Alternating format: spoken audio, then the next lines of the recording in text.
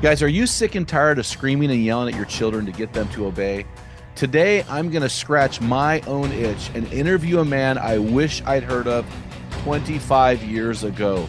This is going to be a game changer of a podcast for you guys in the stress bubble of life. It's not the critic who counts, not the man who points out how the strong man stumbles or where the doer of deeds could have done them better. The credit belongs to the man who was actually in the arena whose face is marked by dust and sweat and blood. Welcome to the Men in the Arena podcast, where we interview specialists in the realm of manhood. Each of our guests is an expert in their chosen field or cause as it relates to men. Our conviction is to call you into the arena of manhood, call you out of the faceless, nameless bleachers, and call you up to be the best version of you. Because when a man gets it, everyone wins. Enjoy today's episode. Men in the Arena Army, I salute you guys. Thank you for listening to this episode of the Men in the Arena podcast. I'm Jim Ramos, your host of today's show and guide to helping you become the best version of a man inside that stressful of life and beyond. Guys, I want to share with you one of our hero stories today. So, our hero stories come in almost every day of the week for men and women around the world describing how God has transformed their lives. This one comes from Bill in Indiana. Bill writes this God has used men in the arena as a tool in his hand. I started listening to the podcast on a whim. Oh boy, let me tell you, it doesn't disappoint. For three months since I started implementing the areas from the podcast, God started to awaken me from the bleachers out of a life of apathy. My kids didn't like it, but my wife loved it. I bet she did. And those in my sphere of influence are hopefully benefiting from it too. I joined a Men in the Arena virtual group. I thought it was a joke that God could actually use a satellite group in my life, but man, was I wrong? I am really close to this group of men, and the things I glean from them is unfathomable. God is doing something in my life that is indescribable. Thanks for being the hands and feet of Christ in men's and families' lives. Thanks for specifically admonishing me to be the best version of myself to God, my family, and others. Bill, that is so inspiring, bro. Hit us up at info at meninthearena.org with your physical address. We will shoot you some swag. Guys, stay tuned to the end of the podcast so that we can share with you our man law for this week. You're going to love it. Hey guys, thanks for making the Men in the Arena podcast Spotify's number one podcast for Christian men. Guys, I am so excited about bringing our guest on today. I wish I'd heard this guy 25 years ago. It would have saved me a lot of problems and my kids a lot of baggage. So, this is my new friend, Kirk Martin Kirk lives in Bozeman, Montana with his beautiful wife of 30 years, Anita. Kirk is the founder of CelebrateCalm.com. That's C A L M.com and the Calm Parenting podcast with his son Casey. He's shown almost 1 million parents how to stop the yelling, defiance, and power struggles, even with the most strong willed of children. Yes, even with your kid, guy. Kirk is known for very practical strategies and scripts delivered with humor and compassion. Learn how to get your kids to listen the first time while building a close and trusting relationship. I am so excited to have you on, Kirk. Thanks for coming on. Welcome. Jim, thank you. I'm excited. This is awesome. Man, I, the our guys need this so much and and I got to tell you so I'm a quarter Portuguese and a quarter Italian and I don't want to generalize but my my my dad was raised in a in a full Portuguese, a, a half Portuguese, half Italian. A lot of demonstrative parenting, a lot right. of yelling. Uh, very close, but a lot of yelling. My dad raised me with a lot of yelling. Very right. close to my dad. Today we talk about every day on the phone. A lot of yelling. Guess how I raised my kids? A lot of yelling, a lot of screaming. I think my kids have a lot of baggage from that. So I'm I'm just confessing that to you ahead of time I am no expert. I'm looking to scratch my own itch today. So I am really, really excited about have hearing what you have to say today. Well, I, I appreciate that. I was raised by a career military dad. Oh, so sorry. my my way or the highway. Yep. Right, like fear and intimidation. So that's how I had three brothers. So we all grew up, did the same thing, right? And that's and it's always that it's always that well if it was good enough for my dad it's good enough for me yeah i was like maybe there's a different way sometimes right because we we still want you to be respected but we don't want to lose control right so anyway we can get into that a little bit Well, and I think also today, I'm always looking to break the cycle, right? Yeah. Like break. How can we break the cycle? Because you know, I wasn't raised in a, those spiritual environments. I would say, but I had a great dad, right? And he Yeah. had a great dad. But there's certain things, even with great fathers, that we can. We need to break some cycles. I mean, I think dads matter, don't you? Uh, at the risk of sounding weird, I would say sometimes dads matter more. Yeah. right like i we work with a lot of people and every week and and one of the most frustrating and wonderful things is i think it's your tagline like if the dad gets it right right? Like if we can get the dad engaged everything changes. Yes. it is i was telling you before we we started i can i can destroy my son emotionally in ways that my wife cannot. Just i can give him a certain look and he's like dad was is everything okay? Right? Because we carry there's something about the guy and about our words and about look i mean cain the story of cain and abel is a story of one boy not getting the father's acceptance i mean it's it's one of the first stories and whether people believe in in uh, like i speak a lot in secular uh, places and i just say look it's ancient literature that reflects a truth Yeah. and in that truth was that one boy didn't get his father's acceptance. And so he murders his brother. Mm. And it will carry on for generation after generation. Doctors, I deal with so many doctors. You know what they're looking for? Acceptance of my father.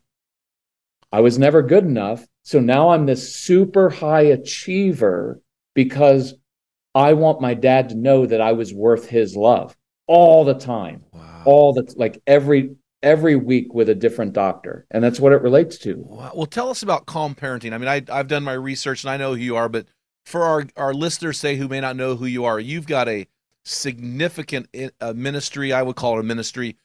Tell us what you do and who you do it with. so our main focus is strong-willed kids right so these because the compliant kids are pretty easy they make Yeah. you feel like a good parent right like Yep. they just listen they're kind of boring so the strong-willed kids are like our son the kids who um they don't uh they don't care about consequences right? And that's our first go-to as a parent is hey if you do that i take away x and they're like here right? It's frustrating. They're kids that want to do things on their own terms. These are very headstrong headstrong kids. And so it's just frustrating. And so our experience was born out of our, our son casey. I i was the typical dad like you of like hey when i tell you to do something i want it done. Yeah. you're not going to listen to me right? And the fear and intimidation and he just wouldn't back down. And so we did all the power struggles. And so i used to pray all the time this i would say god why'd you give us this kid? Like you need you need to change him. Wow. Like, he makes everything difficult. Like i like in all honesty i didn't like casey when he was little. He oh. was i just being he was a pain. Yeah. right? Like everything like put your shoes on. Why is that hard? I come home from work there's a meltdown over something. So i didn't really like him in that way like you love your kids but that's one of it's how i end almost every interview is to say enjoy your kids because if you don't really enjoy them and like who they are then there's always going to be a tone and an edge Mm. so I remember uh, it was this period of life. Casey was about nine, and I was praying, and I was like, "You gotta, you gotta change him." And so I started hearing that still small voice, and there was three questions. One, what if your son is wired like this, made like this on purpose? And I Mm. was like, "Well, that's dumb. Why'd you make someone like that?" Yeah. Right until you realize most everybody in the Bible and who's done anything interesting in life was strong-willed, right? Yep. Because they Yep. right? Everything we, every iPhone, every uh, Steve Jobs, I'm sure was not a joy to parent or teach. So, second question What if by trying to change your son, you are frustrating my purposes for him? Whoa. And I was like, oh, now I'm messing with the larger design here out of my own convenience because I don't know how to control myself. And then the third question was, what if instead of trying to change your son, you're the one who needs to change? And I thought that was the voice of the devil. So like most Yeah, men. Rebuke I that sucker. no, so I'm a, look, I'm I'm I, I I I hope for all the guys, I don't do blame or guilt. I don't do any blame or guilt. I just ask us to be honest with ourselves and do what we expect of our kids because we tell our kids all the time, hey, you need to own up to your choices. And then we don't, right? Because we have an excuse of like, well, he needs to change. He did it first. And I'm like, I'm the authority figure in the home, which means I'm the one who comes with humility. Mm. I'm the one who leads. And I think sometimes, especially in the Christian world, we have a, a, a misconception of authority figures, right? We're like, well, the authority figure gets to tell everybody what to do. I'm like, Mm. well, our authority figure gave his son, Yep. right? He took the first step. He wasn't like, hey, when you guys get your act together, then I'll be kind to you. He's like, no, I I led. So one of our key phrases is humility leads to contrition. And it's one of the most powerful tool. I'll, I'll tell a I'll tell a couple stories if you don't mind at some point, and we'll kind of demonstrate in real world circumstances how do we maybe typically do it now, and then what is a different way that you could handle that situation so that you de-escalate, you build the relationship, and you get the respect. Um, go ahead. Well, one of the things I want to hear, and I, I, I was, I, I'll be honest, I was moved to tears by this story. It impacted me deeply because I saw myself in this story numerous times with my sons. Will you tell us the story about your wake up call when Casey was nine? No, because I'll cry. Don't cry in front of men. I don't cry in front of men. You didn't cry in the am video. him. You didn't cry in the video that you made me cry in. So I'll do the shortened version, but okay. typical situation, right? Like I I used to sit like Ward Cleaver in the living room, right? Whereas my wife and Casey would be in the kitchen doing homework and doing that stuff. And I heard her say, Hey Case, you need to take out the trash. And he looked up and he's like, I, I, I will in a min- in a few minutes.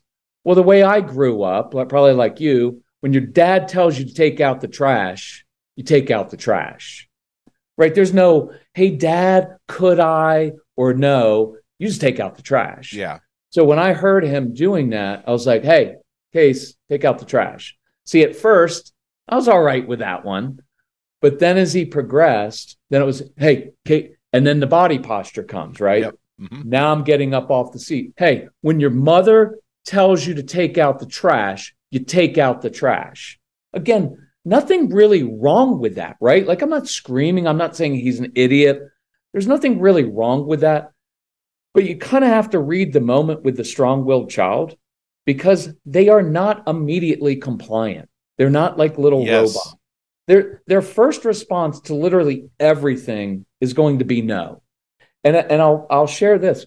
When I go for walks and talk to God, because I don't like praying sitting down because I fall asleep. Yeah. So I, I I go for walks.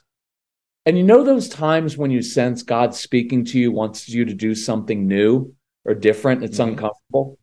My first response to the creator is not really comfortable with that. Right? Uh, God, I, I don't want to do it. Like that's the honest response.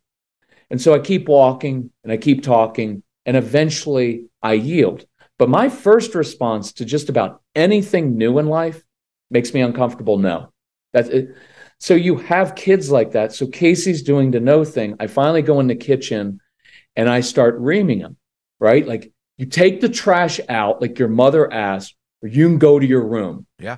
So I started laying into him and, and I, I encouraged the men to watch this. I used to use that as an opportunity to lay into him for all the other things he was doing wrong or not doing. Because inside of me was a certain amount of resentment because he did make life difficult. Been there. You know what? You never pick up your Legos. You don't go to bed on time. You don't do this. And it becomes very, very personal.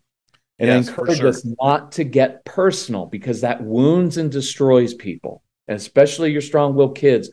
As much as they are very tough, they're also very sensitive kids. I guarantee you they're, they're the kids that are going to grow up and help more people than your compliant kids because those who are uh, forgiven of much love much wow. and they have really big hearts but not towards you, right? Yep, toward yep. you, it's it's f you, dad, but toward other people, right? You're going to hear from other parents of like, your son, your daughter is amazing. We love having her over to the house, and you're like, really? Because Keep what, 'em. like, helped you? Keep them. Yeah, keep them. Like, hey, I've got an arrangement here. Yeah. I can give you a cash payment every month. he doesn't eat his food anyway. Yeah. So if you can get him to eat good, and that's a natural dynamic. So anyway, I, I started yelling at him and getting on him. And so he started crying, and I did the Great Santini. If you ever saw the movie with Robert Duvall, The Great Santini, that was my dad, where he's throwing the basketball son his head, son's head. Squirt, baby, squirt. Like, what are you going to cry? So when he goes upstairs, I'm like, what? You're going to cry now, Casey? Which even now I'm ashamed of. Yeah.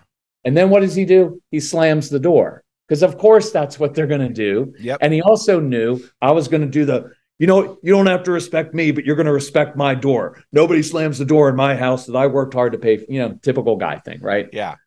So, so this ugly scene happens, and then I come back downstairs and I read what he was what he was working on.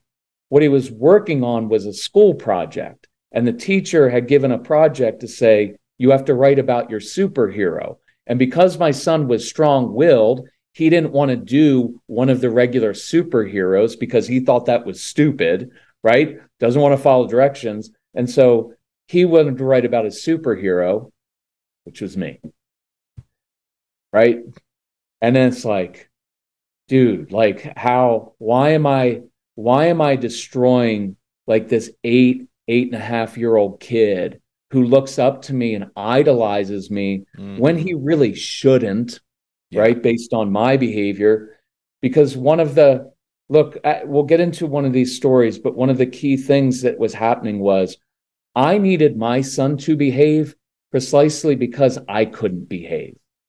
Oh, Right? wow. It, it, so unpack that a little bit. It's that thing of like, you need to do exactly what I tell you to do. Well, why is that? The hidden message is if you don't do exactly what I tell you to do, I'm not sure I can control myself. Mm. It, it was like I had this high, and a lot of the guys, the guys that are engineers, the guys that are project managers, all struggle because I joke about this at live workshops. They all struggle with like order and structure. When they come home from work and there are Legos on the floor, right? And there's disorder in people's emotions in the home, right? Like our wives get upset, freaks us out.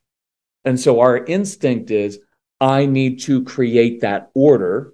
And so Oh. I'm going to do it this way. I'm going to make order happen because I can't handle any disorder in my life, right? That's why I like look I, as a guy, I like work. I can outwork anyone. Work is easy for me. Yeah. Right? Yep. You you could podcast 20 hours a day. You're a high energy guy. I could work. The hardest thing for me is to walk in a room and know my son's not doing his homework, Mm. or I hear him in conflict, or my wife is upset, and I'm like, I'm out Yeah. right it's Yeah. disorder and so that was the big that was the big moment there in realizing the reason i needed him to behave was because i couldn't control myself. So as long look we say it all the time. If my son or daughter would just do x everything would be better. Well now i've placed my happiness and my calm my myself in the hands of another human being dependent Uh-huh. on whether they're going to behave or not. And that's just not a great place to be in life. Wow. So, why do you say that the quickest way to change your child's behavior is to first control your own?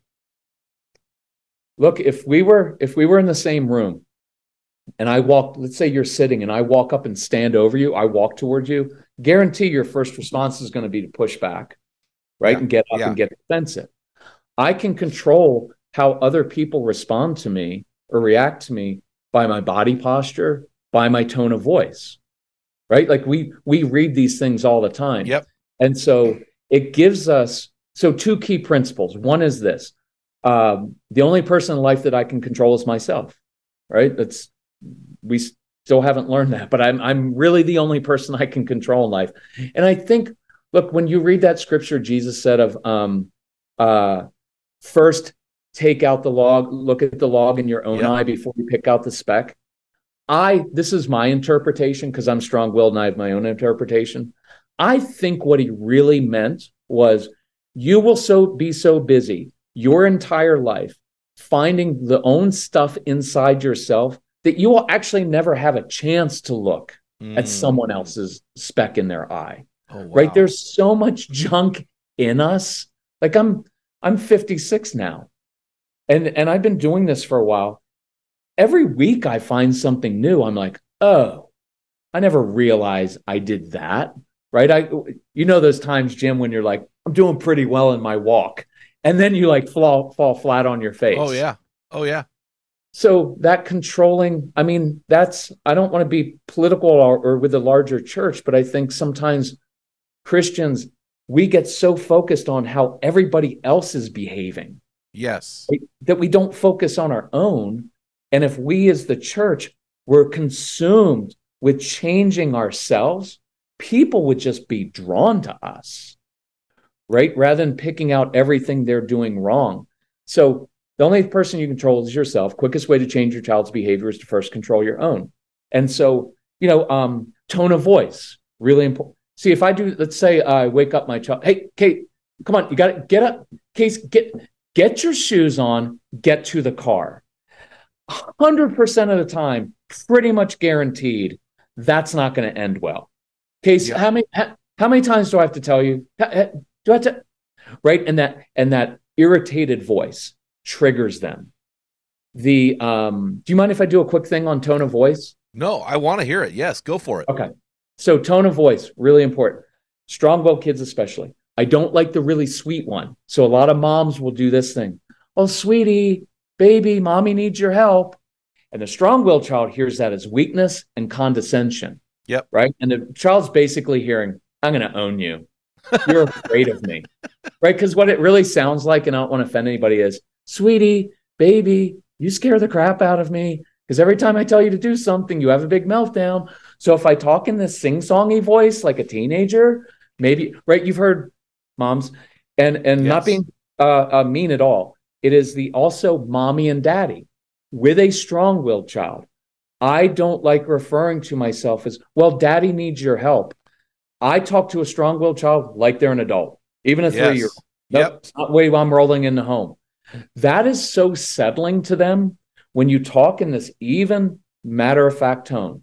The other ones that don't work are the pleading tone, right? Guys, you know what? All I'm asking for is a little bit of help around here. Well, now you're clearly weak and you're agitated. And For if I'm sure. strong willed, I know how to push people's buttons. So when I hear weakness, it's like blood in the water for a shark Absolutely. they're going for it. The um, after all I do for you, right? That's usually a generational pattern for a lot of moms. Yes. Yes. You know what I figure that is? It's manipulation. Yes. Because I've done so much for you, you now owe me to do your homework, to clean your room. Right? There's a subtle manipulation in after all I've done for you. That's manipulative. Reciprocation. Yeah. And, and I always joke with moms, I'm like, look, your kids are never going to wake up and say, Mom, listen, had a talk with my brother. We've determined you do way too much for us. Right? Like, no, people are going to take advantage of you because you're probably a people pleaser, Yep. right? Those are the people at church who end up on every committee because that mom can't say no. Correct. And then they end up being the resentful person. How come nobody ever does anything for me? And for women, I and so husbands, you know, if you have a wife who's doing that, realize that's a deeply held pattern inside of her, and she needs you can come alongside of her and say, "Honey, it's okay to say no. It's okay to say no. You don't have to please everybody else. You're this is a great thing to tell your wife. You are not responsible for everybody else's happiness because wives live with a terrible burden. Like I didn't. So, Casey, um, if I had had a daughter, she probably would have owned me to a degree. I Oh, know For sure. For sure. right? With my son, I had no problem saying, "Oh, you're disappointed." I have no, I, I am not moved. I have no problem with your disappointment. if you're unhappy right now, that's just that's your choice and I'm perfectly fine. Not in a cold way, but in a healthy way. Yeah. Right? And and so I just say for husbands, help your wives relieve that burden because wives go through their lives thinking, well, I have to make sure everything's okay. I have to make sure the kids are happy. Everybody's happy. We've got Thanksgiving, we've got Christmas, and I want to make sure everything. And it's so much pressure. So for you to come along and put your arms around her and say, doesn't have to all be great. It's okay if they're unhappy, right? I'm not talking about suicidal, unhappy, depression. I'm Yeah, just talking yeah. about disappointment. So, um, now I don't know where I was going with that. Jim, I get off track. Well, you were so you were talking about tones of voice. Oh, And tone of voice. and yeah. I really I appreciate the fact you said even keeled matter of fact tone. And earlier in the podcast you said don't get personal. Mm. So to me, you have to link those two together because when I take it personal, my tone changes, right? I Yeah. become a, a negotiator, I become a whiner, I become a bargainer. So can you talk us through because how does a man control his emotions so he doesn't get personal with a strong-willed child, yet has the ability to maintain that control and speak matter of factly to a strong-willed child? Okay. Let me let me wrap this part up and we'll wrap right into it. So when the sweet kind doesn't work, that's when we usually do. You know what? You better get your little butt up and and why that doesn't work with a strong-willed child, two reasons. One is they tend to be fight or flight kids. Oh, So right, so a lot of the strong-willed kids, the more you amp it up, they're like, "Bring it, dad." Right, and I, and I always make the joke. I don't care if you're six foot four, two fifty, and jacked. I'll put a hundred bucks on the five-year-old because they'll just own you right? No keep pushing. The other reason is this when I become visibly irritated, what the child knows is my dad's out of control right now, and that means I'm in control of I'm him. winning. I'm winning. Yeah, and not you know what you could say, not even I'm winning. It sometimes it's I'm winning, but it's also creates a lot of instability. Like Oh, I'm seven or I'm 14, and this big guy in my home who's supposed to be my dad is out of control right now and can't handle himself, and I'm in Oh. control. That's a lot of instability, right? That oh yeah.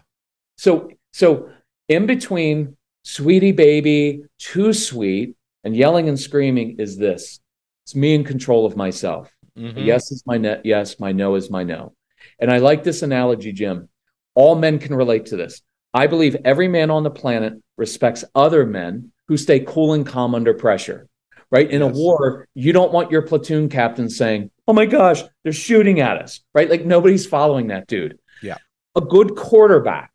I mean, I know people hate Tom Brady. That's why I bring him up because it irritates people. But he does have seven Super Bowls He's still the goat. even after this year and everything else. Because, and here's why because when the fourth quarter came and they were losing, he didn't come in the huddle. You know what? We're down by two touchdowns. You keep fumbling. You don't know what route to run. Let's go score. Nobody's following that guy. But the quarterback who marches out onto the field takes a knee, body posture, and says, Guys, we're down by two touchdowns. We're going to march down the field, execute our plays, score, get the ball back score again, break. The team follows him because he's unflappable. Yes. So, how do we get there? Um, one, I, I- I'll give a few things and we'll do some stories and I'll show you. Body posture, I would work on. And this is a simple one. And people say it's too simplistic, but I like simple stuff at first because it breaks patterns. How I stopped being reactive partly was I would sit down.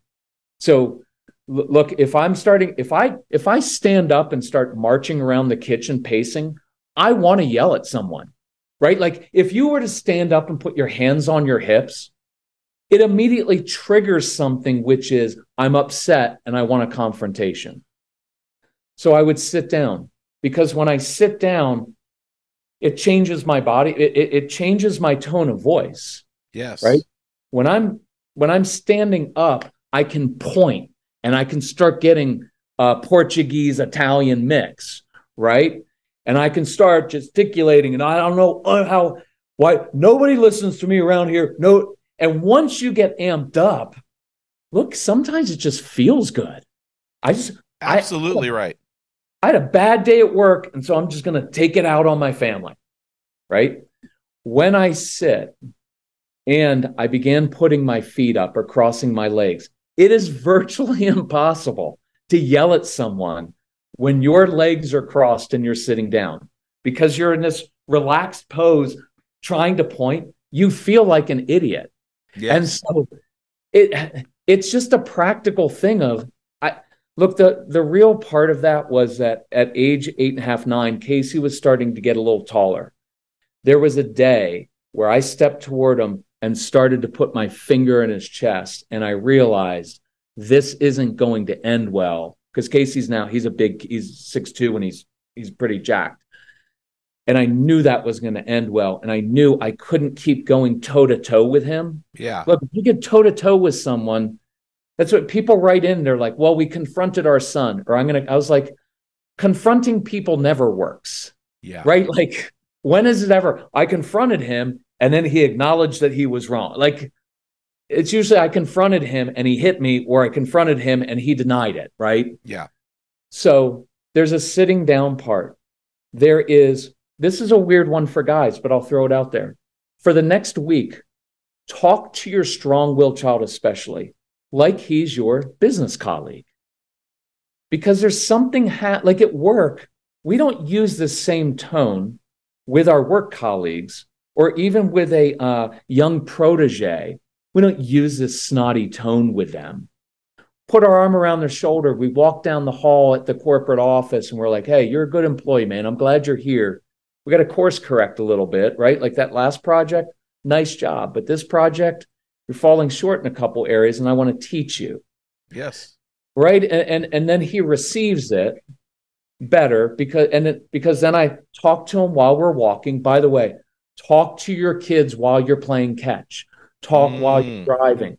Don't do the, hey, son, we need to sit down and have a talk about your attitude because no child's going to be like, "Of course, father, can't Sounds wait fun. for that." yeah, sounds fun. Yeah. Why don't why, why don't you just stare at me and tell me all the reasons you're mad at me and don't like me? Well, you know that reminds me of something. So I was I was doing some research, and you were talking about how to communicate with our kids in a way that would de-escalate things.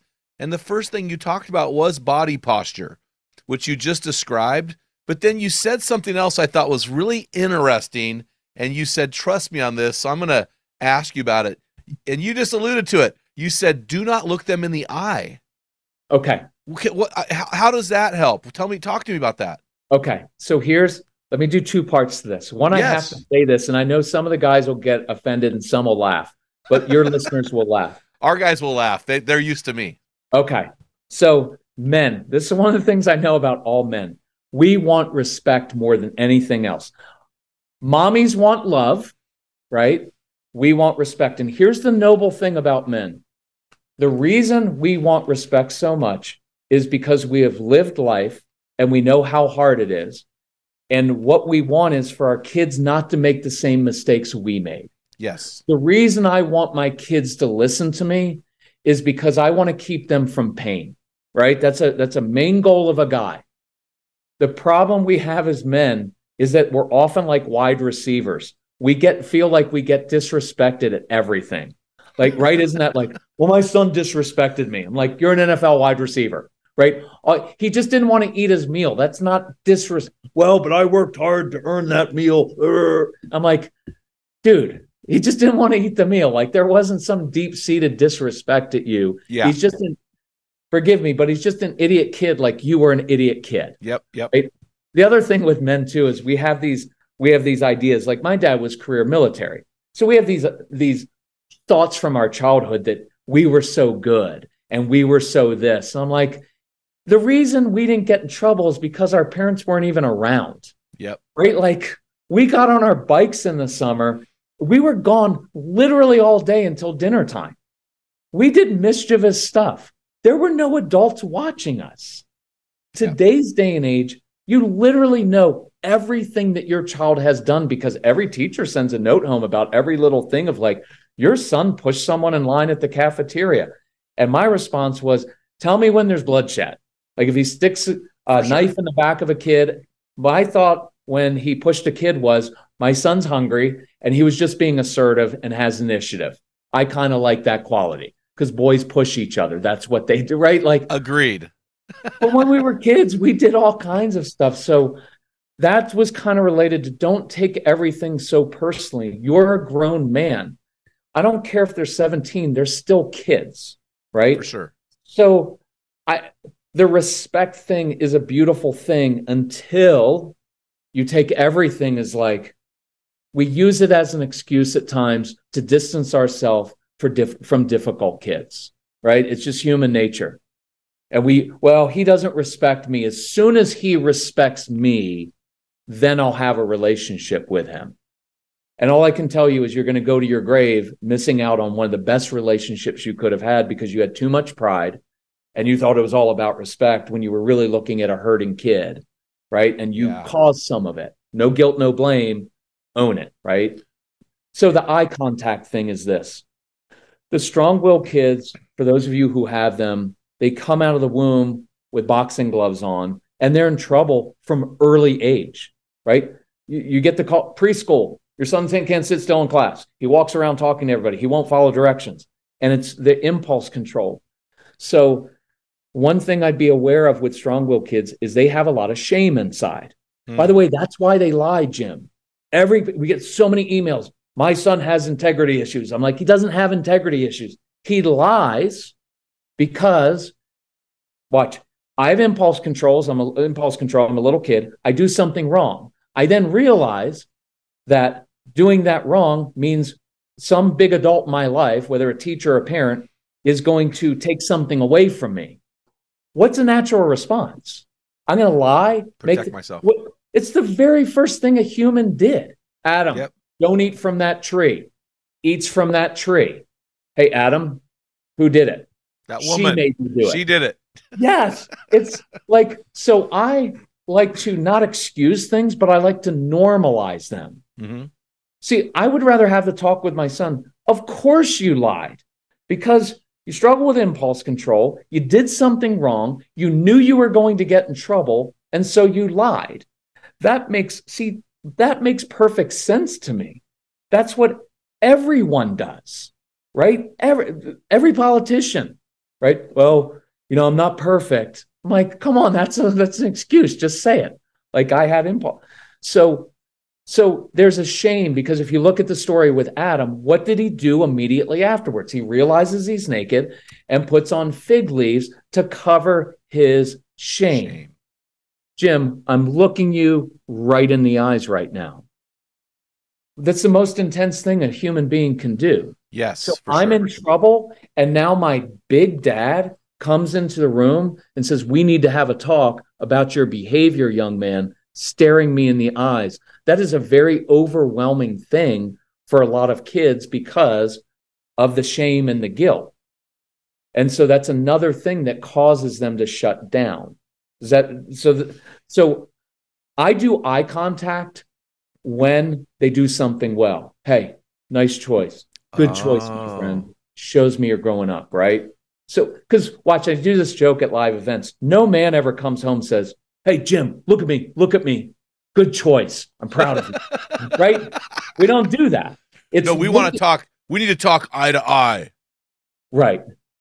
Yeah. Look at me. Look at me when I'm talking to you.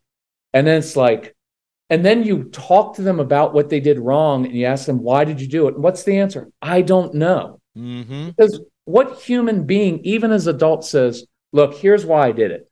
I didn't think anybody was looking. I thought I could get away with it and I got caught. Mm-hmm. So am I really sorry that I did it? No, I'm just sorry that I got got caught caught. right? Like that would be a refresh. Yeah. I would vote for any politician who ever just said, "I thought I could get away with it." and I got caught. She was hot, right? I've been married for thirty years. She was hot. I thought I could get away with it, and I think men would be like, "I can respect that. I that." respect that. He's Like, being honest. right. I did have sex with that woman. Yes, she was young, right? I'm married to Hillary. Who can blame me? Like, I didn't mean to go. Oh, we just lost followers. No, I'm just kidding. Well, so No. here's here's the other thing too is that I was confronted by a, another podcast guest that when I am looking at my strong-willed son in the eyes, what I'm saying to him is I don't like you. I'm not smiling. I'm posturing up. My eyes are telling him what he does not need or want to hear, and that is, I don't like you. I know you might love me, Dad, but you don't like me. So when when a strong-willed kid goes rogue and we don't make that eye contact, it also helps us to control our face from what we're maybe thinking. Does that make Right. sense? Yeah, yeah. That well, that's why I love.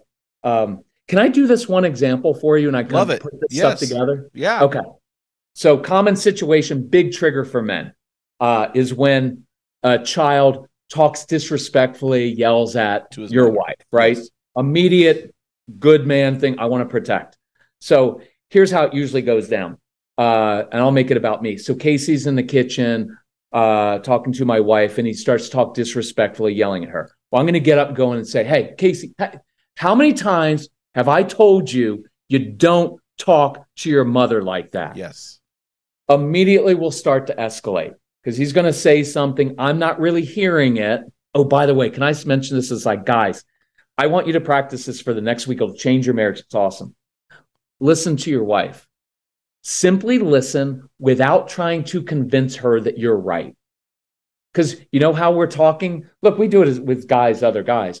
I'll hear you, but the whole time you're talking, I'm formulating my response. Oh, I thought that was the only way to do it. yeah, exactly. So practice that. Just sit in and say, you know what? That's really interesting, honey. I've never thought about it that way. Uh, yes. And then walk away and then text Jim or me and say, I have no idea why women think like that.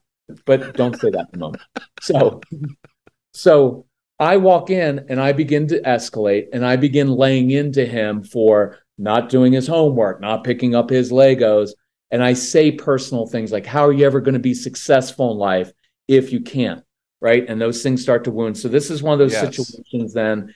He goes upstairs and I would do those things like, Keep it up, keep it up, young man. Right. And you know what? That that's provoking your children to wrath.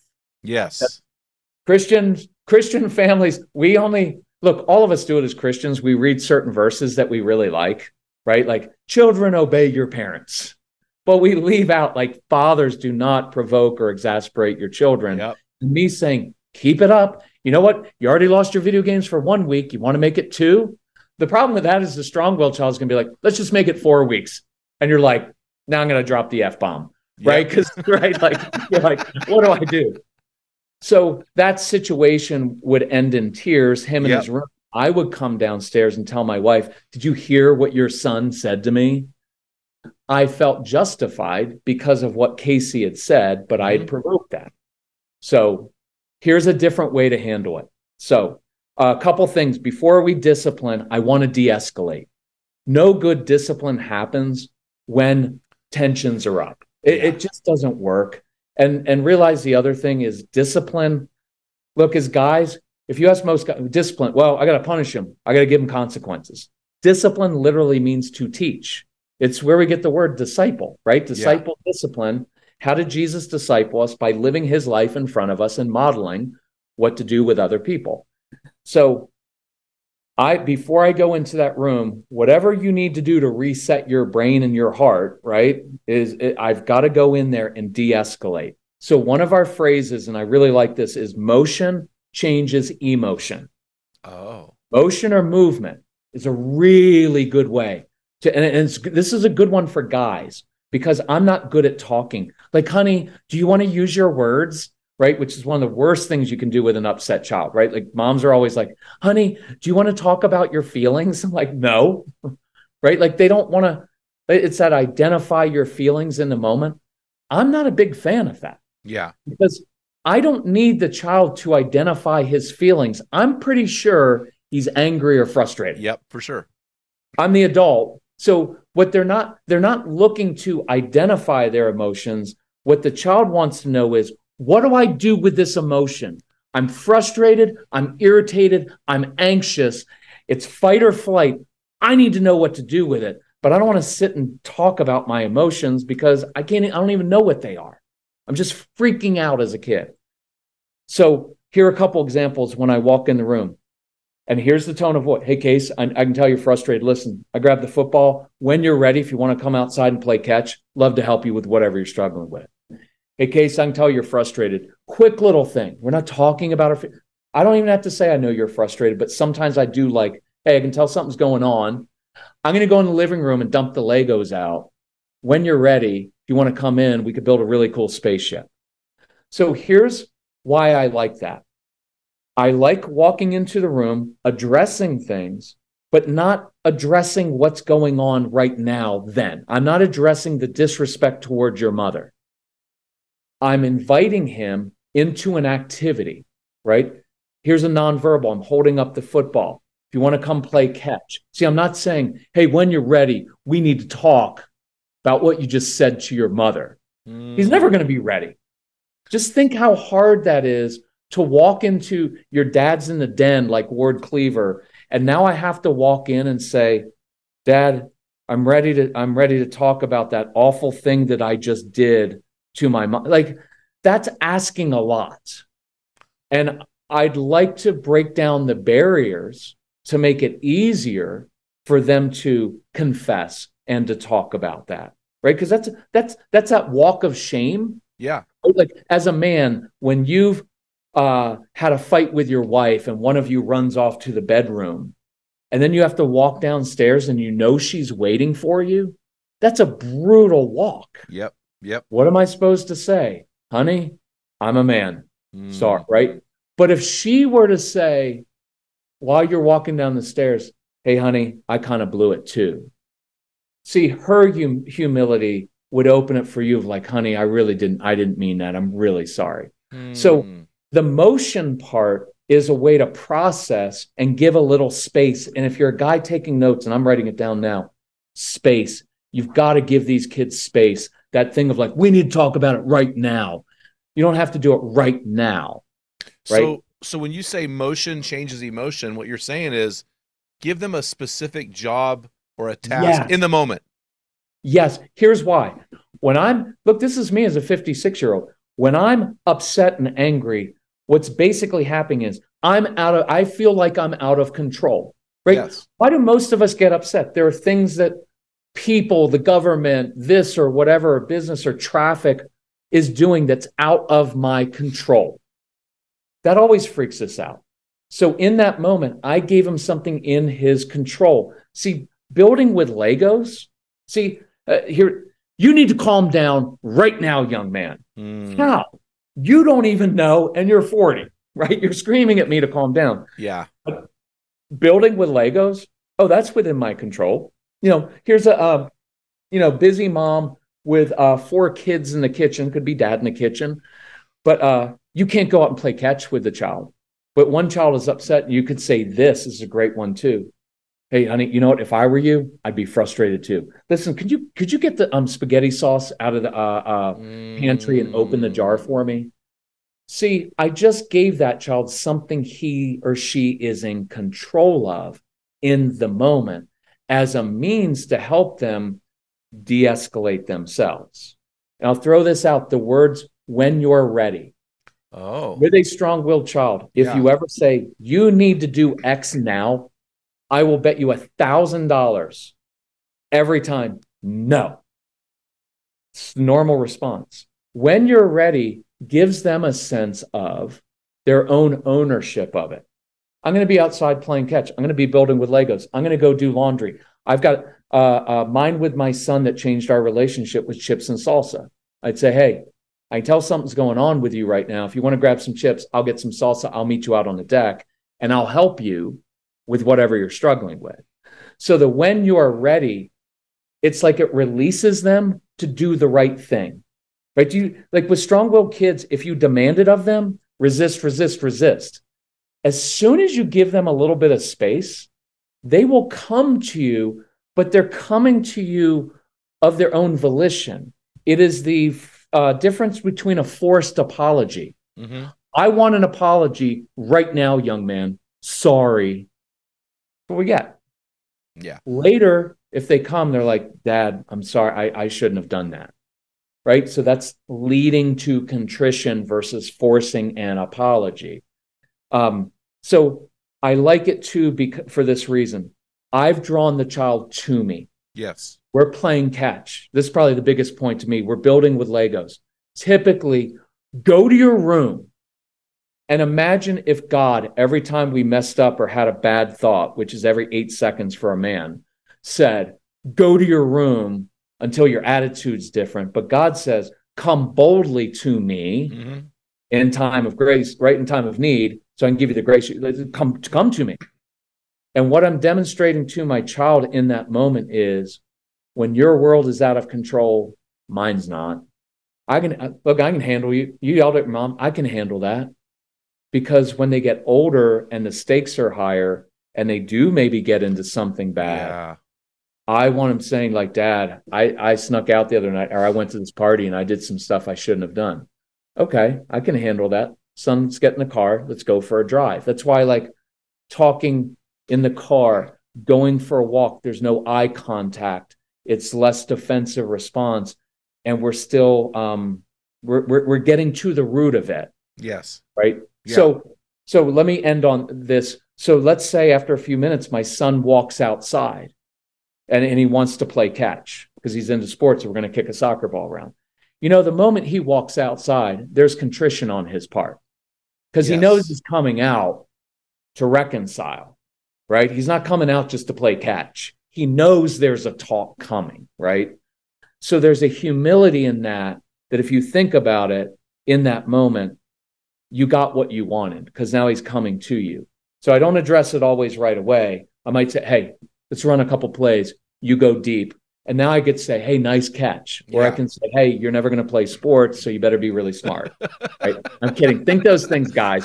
Oh, just realize that you're strong willed Man, kids. you suck at catching. You'll be a lineman. yeah, exactly. I just want the men who have strong willed kids to realize this because it'll save you a lot of money.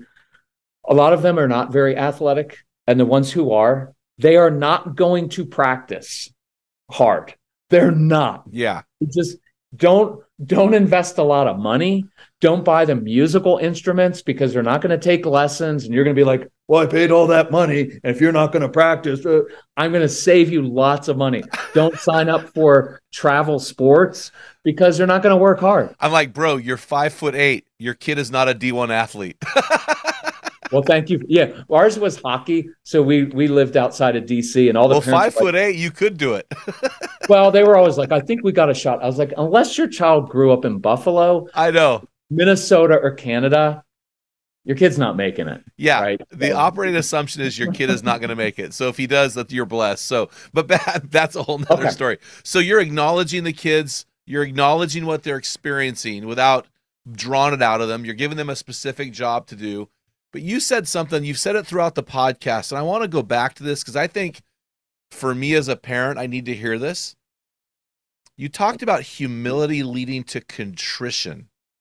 So, wh- talk to me about this humility factor in dealing with a strong-willed child. Because So- what I want to posture up in pride. Right. My, my my gut love my gut was telling me to posture up, but you're saying humility leads to confession, uh, contrition. Right. And I'll and right after this, I'll do an example being tough with your kids, right? So you, so people aren't like, well, you're just letting them get away with things because I don't like doing that either. Agreed. It is it is that it is that normal guy thing, parent thing, especially in the Christian community, because we're all about like authority and order and structure Yeah. and all of that. Like you can't let your son get away. And I think we just uh, and a, the best authority figures throughout my life were the ones who were good teachers. Yeah. There, my boss Jack Elwell, when I was a young salesperson, one the, you know what they do when you're in sales, they do like their boss does the ride along with you. Oh yeah. So the first day I've got my suit on. This is way back. This is because I'm old. So you've got a suit on. I've got everything buttoned down. Awesome, good day. He goes to his hotel. I go to the house. The next morning, he I, I pick him up. I meet him in the lobby, and he said, "Martin, why aren't you wearing crease slacks? You be- every day you go out there, you better look like the Kirk Martin that walked into my office the day you interviewed." And to this day, I want to go crawl on the ground before Jack Elwell because he was like the six foot four, big, gentle giant of a man. But he told me that and he didn't yell at me.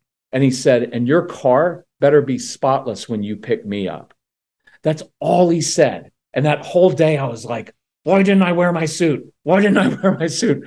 And to this day, I don't want to let Jack Elwell down Yeah. and I haven't talked to him in 40 years because he was an authority figure in my life who didn't ream me as a young man, but he let me know in a very even matter of fact way I have higher expectations for you. And that young man that walked into my office is the young man that I expect to be out on the street selling my products. Sticks with me till this day. Wow. Right. And so, um, so the idea of the authority figure, I just know with a strong willed child, if you go in like this, you're going to get pushback. For sure. And, and then, and then what we do as men is we justify it. Well, he didn't, I'm the parent, he's the child. And I get that. I want your kids to listen to you. But sometimes they're not going to listen the first time. And just going all in like that. I found in emotional moments, when there's an emotional power struggle, if I go humility with a humble uh, uh, posture, then in my attitude, it softens people. Yeah, right? I mean, sure. uh, look, it's it, it's talking to people of the opposite political party. Get like I'm right because I've got this. That nobody in my all my years has said, you know what? You have so much logic. Your your view is right. I'm going to change my entire philosophical orientation. Uh, what breaks them down is when there's humility Yep. there, because that softens people. And I would say to the men out there, it will not hurt because this is another one of apologizing to. Um, so in that moment, the reset, like after you blew it and you did go off on your child and you reacted angrily, there's a reset there. So I've got this program that I do with men, which is really cool. It's a it's a mentoring, but it's texting because men don't read parenting books. So I always tell women, they're like, my husband. I was like, no husband where we, we don't read parenting books. Barely listen to the parenting podcast. But I do this text. So three times a week, they'll get a short little text and then they can text me back. But Ah. it's fascinating because so many times they're like, I was just about to yell at my son. And I was like, okay, do the reset, which is, okay, I can change. I change my body posture, a simple apology. Hey, son, I just yelled at you. But what it really was, I was anxious about my own work. So I, I'm behind at work. And so I took out my own anxiety on you. I apologize. That kind of humility, like dads are always like, well, if I admit that I have some anger issues or I overreact, they're not going to respect me. I'm like, dude, they already know you have that issue.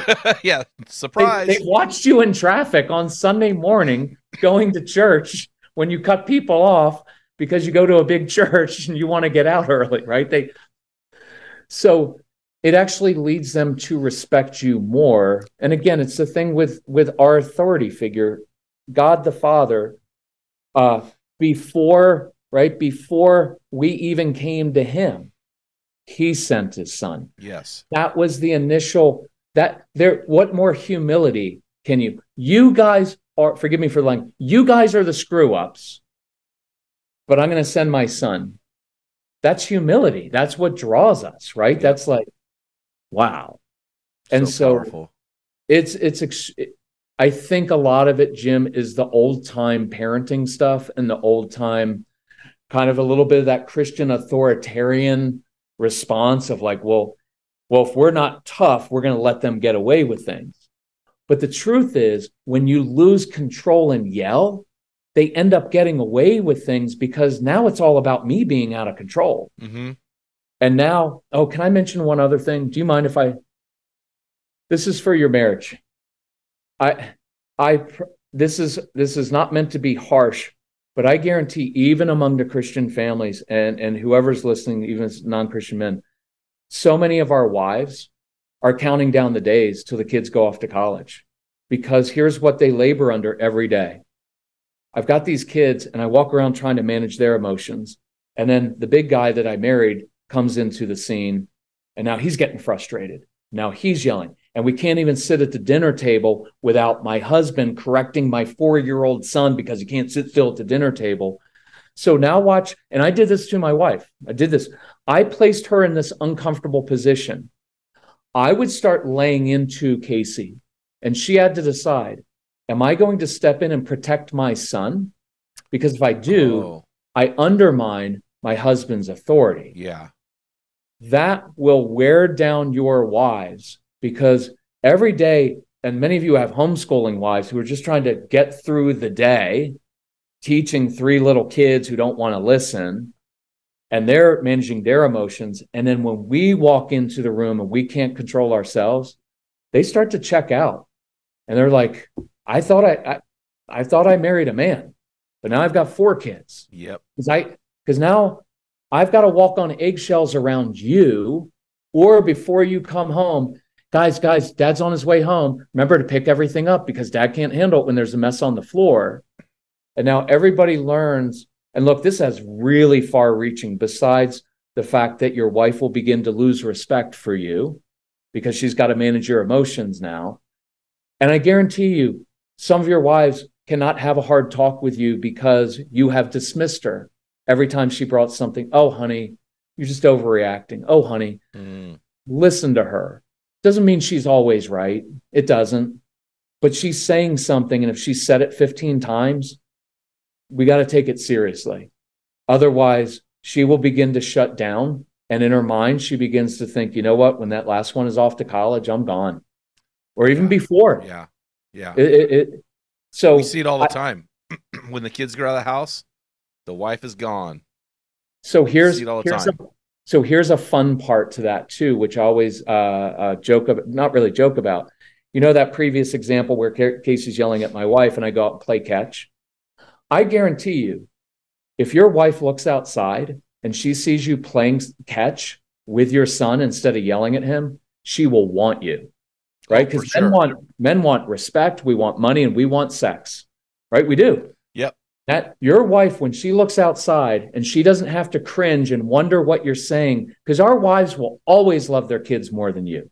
It's just right. It, it's just the way that it is. Yeah. Right. If they have to choose between which one am I going to leave, you're just going to be like, sorry, big dude, I'll take half of what you own, but I'm not leaving my kid. Yeah. And so when she looks outside or she or she peers into the living room and you're sitting on the floor patiently building with Legos with a kid who just said something really awful, but you're being patient and calming it down, I promise she will begin to want you a lot because you yeah. just took the burden off of her and you just loved and, and and held the heart of the thing that she loves more than anything in this world. Is, is, is so if men, if you want to remember this, if I stay calm, my wife will have more sex with me.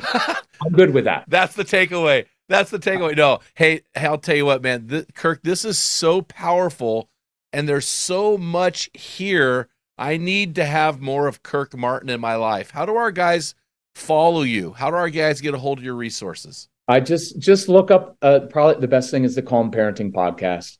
I, I try to keep them ten to fifteen minutes long, so short and sweet.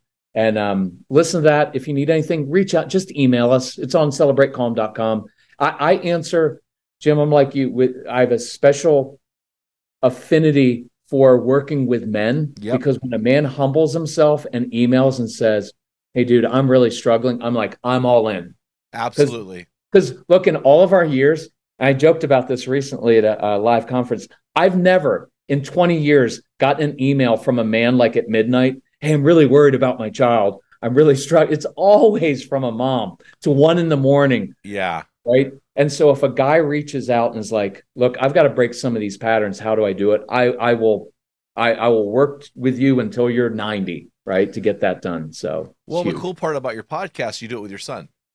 Yeah and so and that's Casey, special. Yeah, yeah, and he's he's an awesome he's he's an awesome kid, and it, it's helpful because when people write in to Casey, he gets to respond. Oh, you're basically describing me. I was just like your four year old. I was just like your 17 year old. But now we get to uh it, now it's a bonding thing for us, so it's kind of cool to do. That's so cool, well, man. I sure appreciate you coming on the show.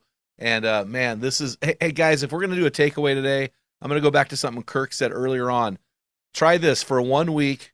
Talk to your child like a work colleague. See how that works. So, Kirk, thanks so much for coming on the show. Yeah. We are so blessed to have you, man. I look forward to our guys going headlong into your resources. I'd love to give you back on and talk a little bit more in detail about some of these other topics that you're so passionate about. Jim, it's awesome. Thank you so much. I appreciate what you're doing. Thanks, Kirk. Have a great day, man. You too. See ya. This week's man law is from Christopher Ryan on Instagram, and he he noticed while he was walking down the street a man pushing a stroller, but he noticed something interesting about that man. Thus, the man law. Here it is. whatever you do, never push a stroller with two hands. If you're a man, you have to do it with just one. that is so true. That is so good. Thank you, Chris. Hey, hit us up at our website with your physical address. We will send you some swag just to say thank you. And guys, also while you're on our website, make sure you pick up my book, Tell Them What Great Fathers Tell Their Sons and Daughters. Sign up to join one of our virtual teams. As you heard earlier from Bill in our hero story at the beginning of the podcast, our virtual teams are game changers. Until next time, feel the wet sound on the arena floor, hear the deafening roar of the crowd, taste the sweetness of victory, smell the stench of battle, get in the game, get dirty, grind it out, and be a man.